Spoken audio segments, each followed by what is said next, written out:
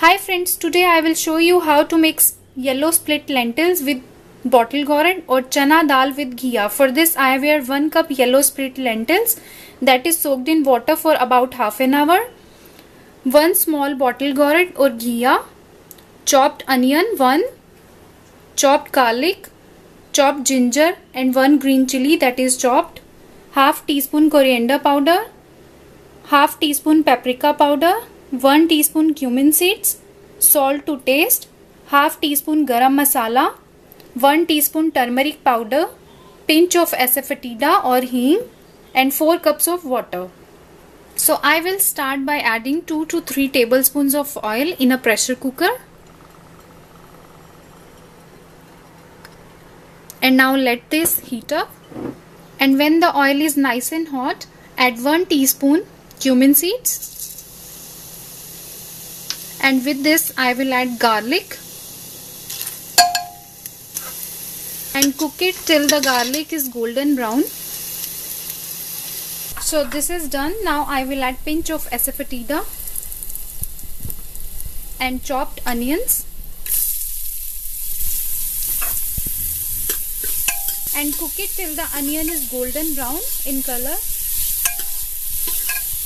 the onion is done. Now I will add green chili and ginger. Stir it for 20 to 30 seconds. And now I will add all the spices. Coriander powder, paprika powder, turmeric and garam masala. And now mix it. And now I will add chana dal और yellow lentil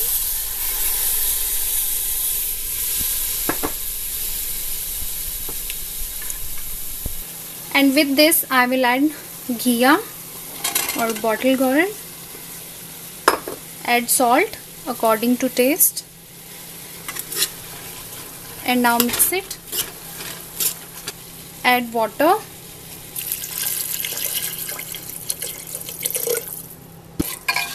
and you can always adjust the quantity of water according to your taste. If you want more gravy then you can always add more water. And this is done. Now I will cover it. So I have covered this and now cook it for one whistle on medium to high heat. And then after one whistle lower the heat to medium and cook it for another 8 to 10 minutes. And the first whistle has just came and now I'm gonna lower the heat to medium and cook it for another 8 to 10 minutes. It's been 10 minutes and all the steam is gone. Now I'm gonna open it.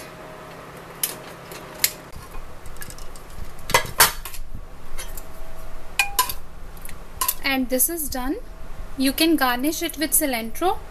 And thanks for watching my video. See you soon with the next recipe.